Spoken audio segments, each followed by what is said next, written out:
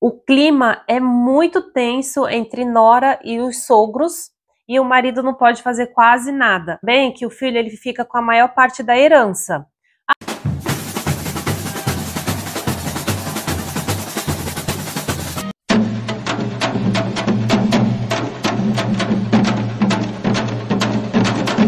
Annyeonghaseyo, Janun, Talitarago, Hamida. Oi, pessoal, meu nome é Thalita, sejam bem-vindos a mais um vídeo aqui do canal. Pessoal, no vídeo de hoje nós vamos falar sobre uma experiência bem chata que eu tive com meu sogro, que foi o dia que ele me expulsou da casa dele. A família do Luiz é muito tradicional e esse é um assunto meio complexo, então eu preciso falar algumas coisas para que vocês entendam o porquê da reação deles nessa situação.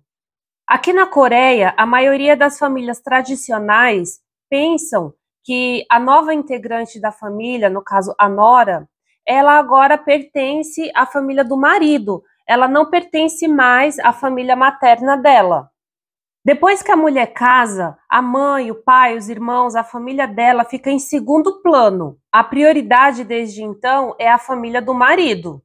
Então, os sogros se sentem no direito de interferir na vida do casal, de se meter mesmo, sabe? De meter o bedelho lá na vida do casal e muitas coisas.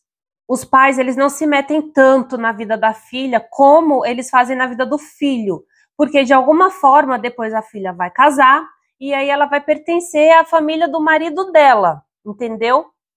Por isso que aqui na Coreia nós ouvimos muito bafafá de sogra com nora, porque a sogra quer que a nora faça as coisas do jeito dela. Gente, eu tô falando mais da sogra, mas os sogros também não ficam atrás, viu? É lado a lado ali. Com os sogros se metendo na vida do casal, porque eles se metem mesmo e muito, isso acaba gerando muitos conflitos e acaba deixando o marido em cima do muro, uma situação meio delicada entre a esposa e os pais.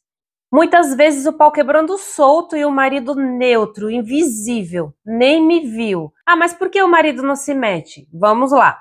No caso, o Luiz. Gente, aconteceu muita coisa entre eu e os pais deles por causa dessa questão de choque cultural. Eles são muito tradicionais, eles queriam uma nora coreana, daí caiu do céu uma nora brasileira.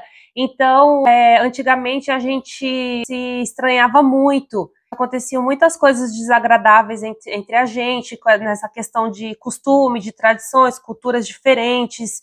E o Luiz, ele sempre ficou muito neutro. Ele nunca, nunca, em nenhuma situação, nenhuma vez ele falou nem um A, nem para mim e nem para os pais dele. E isso me deixava muito pé da vida, sabe? Porque na época é, eu não sabia assim me defender. Então eu ficava numa situação muito difícil porque meu marido não se metia, não falava nada e os meus sogros lá, ó, descendo a madeira em mim. Então foi uma época bem difícil para mim e eu não pude contar muito com o Luiz. Na verdade, eu não pude contar nada com ele. Mas, Thalita, por que, que ele não reagia? Por que, que ele não se metia? Vamos lá, isso envolve muitas questões. Primeiro que os filhos aqui na Coreia, eles não têm o costume de retrucar com os pais, de responder, de debater, de discutir, sabe? Então, eles já não têm esse costume. Aqui na Coreia, os, os mais velhos falam, falam, falam, falam, e os mais novos, eles ouvem, entendeu? Fica ouvindo quieto, fala, tá bom, tá bom, tá, tá, ok, ok, ok, ok. Eles não são de ficar discutindo com os mais velhos, isso é muito falta de respeito. Os mais velhos ficam muito irritados com isso, se eles responderem, retrucarem, então eles já não têm esse costume mesmo, mesmo que seja por causa da mulher. E tem outras coisas. O filho, ele sempre ganha mais coisas do que a filha. Ou seja, ele faz os melhores cursos, é, ele vai para a melhor faculdade, é, tudo que os pais tiverem que dar de melhor, eles dão para o filho. Se os pais não tiverem condições de dar as mesmas coisas para o filho e para a filha, ele sempre vai dar prioridade para o filho. Então, filho é sempre a prioridade dos pais.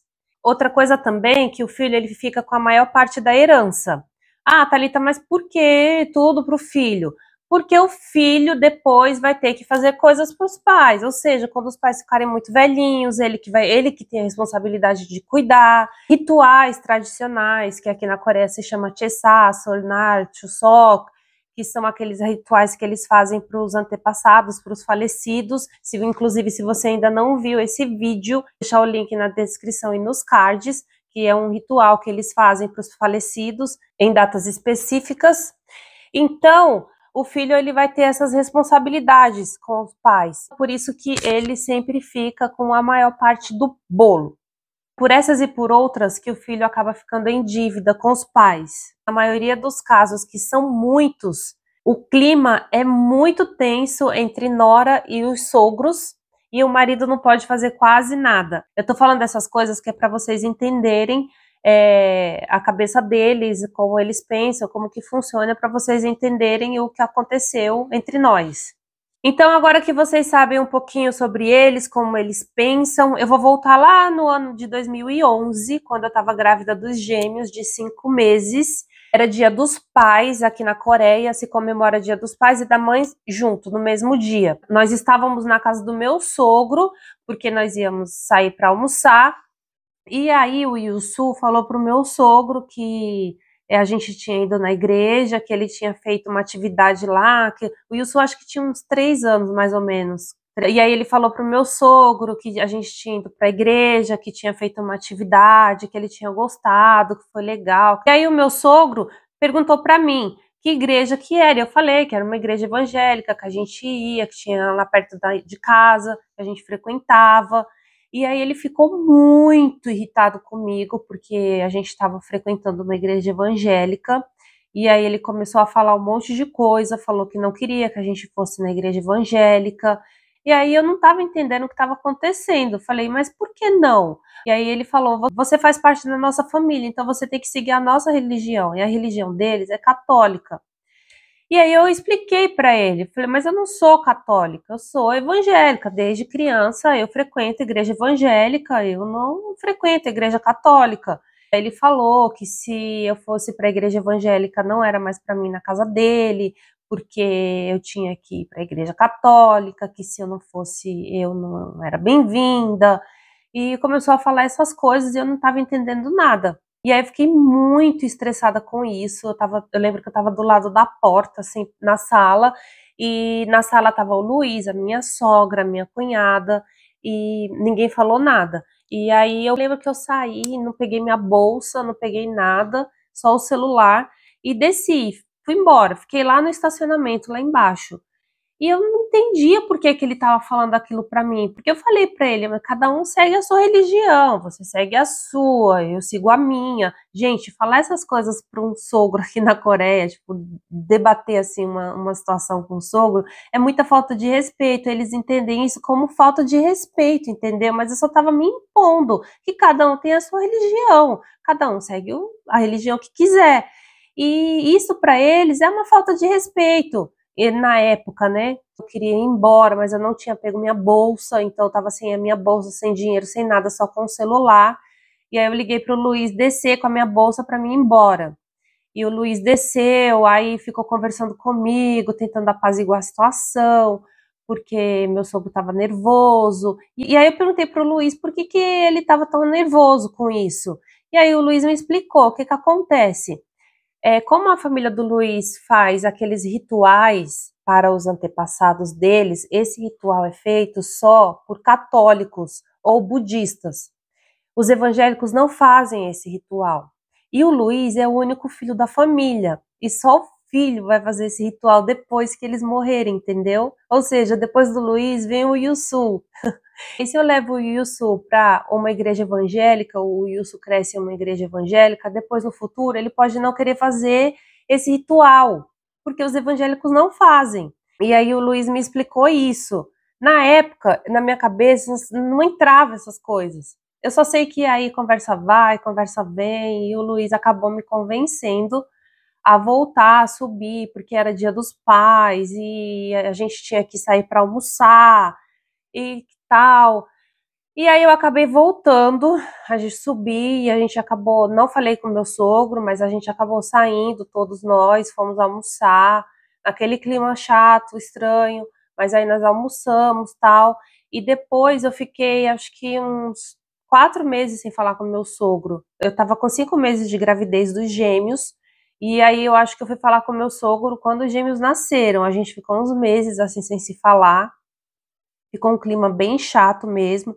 Mas aí depois que os gêmeos nasceram, a gente voltou a conversar, voltou a se falar, e aí ficou tudo numa boa. No final das contas, eu acabei relevando, né? Porque também não dá para ficar tanto tempo sem se falar e ficar aquele clima na família, né? Durante muito tempo, acabei relevando e passou. Pelo menos eu me impus, depois nunca mais ele falou sobre isso, sobre religião, e eu também não ele acabou respeitando isso e eu respeitando a, as tradições deles, né? Mesmo eu frequentando a igreja evangélica, eu faço a, os rituais junto com eles e a gente acabou entrando num conceito aí em relação a isso. Porém, eles ainda se metem, sabe, um pouquinho em algumas coisas, mas eu já aprendi a lidar com eles. Pessoal, como eu falei, a família do Luiz é uma família muito tradicional. Porém, há exceções. Tem famílias que são mais tranquilas, mais fáceis de aceitar uma nora estrangeira. Comigo, o buraco foi mais embaixo. Mas hoje em dia está tudo bem. Meus queridos, vou ficando por aqui com o vídeo de hoje. Se você ficou até agora, não esquece de deixar o seu joinha e até o próximo vídeo. Popó!